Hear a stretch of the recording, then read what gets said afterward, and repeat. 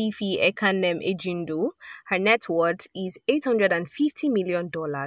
She's another amazing woman and numbered among the top richest people in Nigeria.